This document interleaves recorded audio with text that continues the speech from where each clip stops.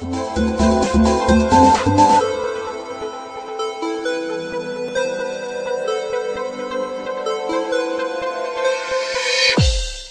contexte, c'est le, contexte est le suivant.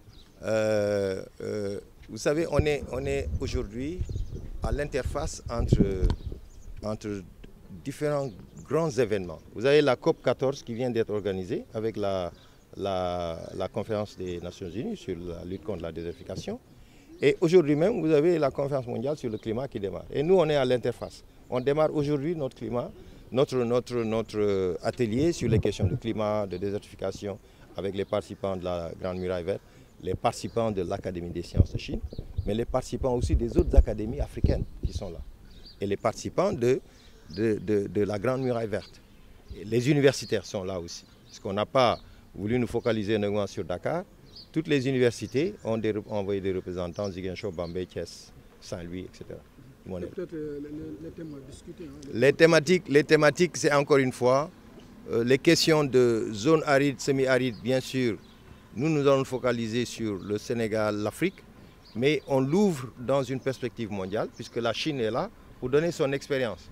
Parce que lorsqu'on parle de, de grande muraille verte, il ne faut pas toujours se focaliser sur l'Afrique en pensant qu'il n'y a que l'Afrique qui développe une grande muraille verte. La Chine développe sa grande muraille verte. La Chine développe sa grande muraille verte. L'Inde développe sa grande muraille verte. Vous avez même une autre grande muraille verte qui se trouve au nord du Sahara, tous les pays du Maghreb là, qui souffrent aujourd'hui de sécheresse développent aussi leur grande muraille verte. Donc euh, c'est un exemple parmi d'autres. Ce qu'on a voulu faire, c'est tirer maintenant parti de tout euh, ce, moment qui est historique, hein, parce que depuis l'accord de Paris, ça va faire donc 5 ans, les choses ne bougent pas trop. On essaie de voir comment, maintenant, du point de vue scientifique, on peut apporter des résultats sur la base de tout ce que les gens vont nous présenter ici, de la Chine, du Zimbabwe, du Sénégal, de la Tunisie, de l'Afrique du Sud. Il y a beaucoup de collègues aussi qui sont représentés. Et voir comment on va tirer la quintessence de tous ces éléments, dont demain après-midi, on va donc s'asseoir, faire le résumé, la synthèse des discussions objectives autour, critiques, et voir qu'est-ce qu'on prévoit pour le futur, du point de vue maintenant coopération, avec ces grandes institutions qui travaillent sur ces questions depuis de très nombreuses années. Ils ont de très bons succès en partie. Ils ont aussi des échecs. Comme nous, nous avons des succès, nous avons des échecs. Mais comment on peut venir sur une base gagnant-gagnant, essayer de voir quelle expérience tirer et comment aller de l'avant? Bien sûr, ça va demander des financements, ça va demander l'implication du politique, parce que ce n'est plus une affaire scientifique seulement, mais c'est une affaire science politique. À la lumière de ce qu'on arrive à découvrir au plan scientifique, comment est-ce que les politiques peuvent agir pour mieux booster le développement économique. Et vous voyez que la base, c'est les ODD, que vous connaissez bien, les objectifs de développement durable. 2030, c'est la limite. Hein? Et aujourd'hui, 2030, c'est demain. Parce qu'on est à 11 ans. Hein? Parce qu'après, c'est 2020. Dans 10 ans, c'est 2030. On a l'impression que lorsqu'on parle de 2030, c'est pas loin, en fait. Et 2030, c'est l'objectif final. C'est pourquoi, d'ailleurs, c'est important pour que l'Afrique aussi ait, son agenda. L'agenda de l'Afrique est beaucoup plus... C'est 2063 parce qu'ils voient, ils ont une perspective beaucoup plus lointaine, parce qu'ils se disent que le temps de former les jeunes, le temps d'avoir accès à la science, au financement, etc., ça va prendre du temps, mais pour consolider les résultats sur, au plan du développement durable. Justement, voilà, juste pour ce vous. qui concerne la coopération académique, qu'est-ce que vous attendez de la Chine Alors, pour, pour la coopération euh, scientifique, technique, innovation, il y a, il y a, il y a d'excellentes expériences aujourd'hui que la Chine développe. Si vous allez à l'ouest de la Chine. Euh, Dans la partie ouest, c'est le désert de Urumqi, etc.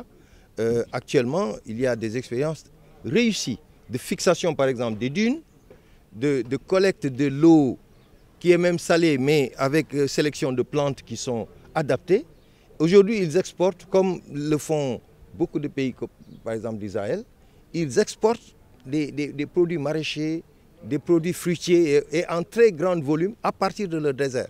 Cela veut dire donc que le désert, ce qu'on considère comme désert, zone évidemment sensible, mais ici comme zone non productive, ce n'est pas vrai. Les déserts sont très riches, ça dépend de la manière dont vous allez pouvoir l'utiliser. Et aujourd'hui, tout le monde sait que dans nos déserts, là, vous allez dans le Sahel, vous allez dans, etc., vous avez énormément d'eau dans le sous-sol, par exemple. Les aquifères renferme des, milliards, je peux dire, sans exagérer. Je ne parle même pas de millions de, mètres cubes, des milliards de mètres cubes. Mais comment les exploiter de manière rationnelle pour pouvoir en faire des facteurs de développement pour l'agriculture, pour l'irrigation, fixer les dunes, euh, reverdir, on parle de reverdir par exemple le ferlo, reprendre un peu les, certains oasis dans d'autres domaines, etc. Voilà, ça c'est le challenge. Mais ça va demander des investissements énormes. Et ces investissements, c'est exactement euh, la thématique dont la COP 14, la, Convention des partis sur, euh, le, sur le NCCD, c'est-à-dire la, Convention des Nations Unies sur la lutte contre la désertification, est en train de pousser. Ils ont poussé vraiment pour qu'il y ait non seulement de, très grandes subventions, mais aussi la création de, la création d'outils de travail, mais la formation. Et donc à la base, et encore une fois, je reviens à votre question, à la base, il n'y a rien à faire. Il faut que vous passiez par la science, la technique, l'innovation. C'est ça, c'est la base. Et ça, c'est le credo aussi de ce qu'on peut tirer de l'expérience chinoise. Les Chinois ont énormément investi sur la formation, la science, la technologie, l'innovation. Et aujourd'hui, ça a créé un boost pour tout ce qu'ils font, dans tous les domaines. Ah, il faut que l'Afrique s'inspire aussi de ces expériences. Nous avons sûrement notre, notre expérience, mais voilà, nous allons échanger sur tout ça et voir quels sont les...